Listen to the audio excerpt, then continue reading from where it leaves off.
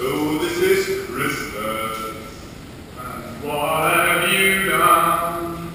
Another year over. And a new one has begun.